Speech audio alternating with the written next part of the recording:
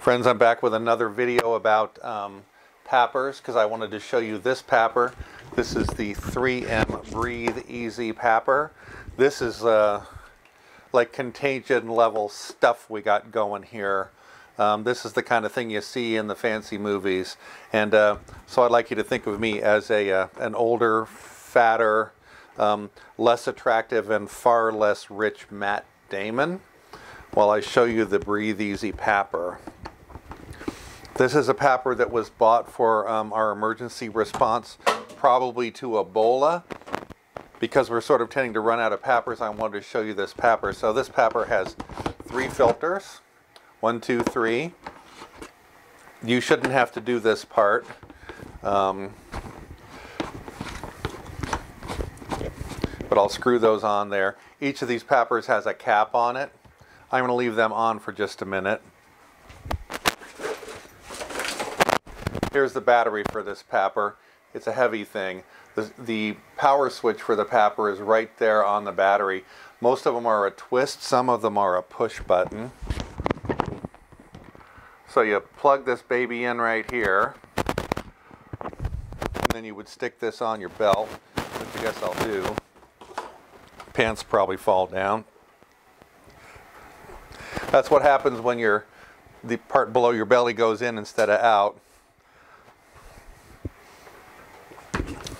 Okay, so the button, as I say, is right here.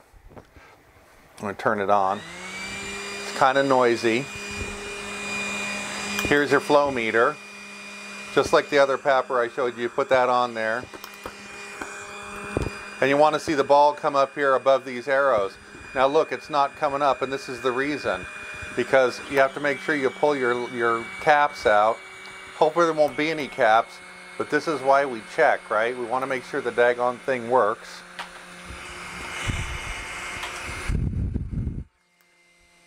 Now I'm going to turn it off because it's noisy. And you don't need to hear the noise for the rest of this. This is where things get a little bit uh, more industrial. Once you have done your test, you have to take this screw thing, jam the hose on it, like that. And then you're going to take this, the uh, blue um, handle on this hose clamp and turn it down in order to twist this thing onto the PAPR. Make sure it's nice and tight. Let me do this for you here just real quick. Sorry. See, I'm twisting it on there.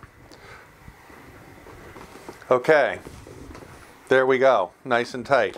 Now, one th uh, last thing I want to show you. This is the PAPR hood that goes with this. You remember that the Versaflo PAPR has got the screw connector.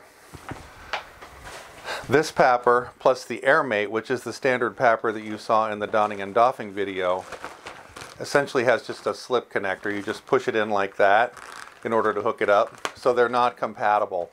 That's important to know. This is the one that you use on a Breathe Easy or an AirMate. And that's the one you use on a Versaflo. I'm not going to put this hood on because it's still clean and I don't want to make it dirty so someone else can use it.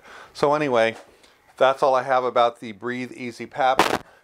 You know how to use it now. Thanks very much.